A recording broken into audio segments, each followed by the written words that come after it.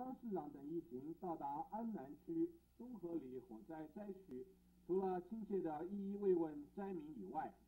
并且分别赠送了救济金新台币一万三千五百元，使得灾民们非常的感激。张市长同时还答应设法替灾民们重建房屋，以安定他们的生活。除此以外，张市长跟王主任委员还指示安南区公所和民众服务所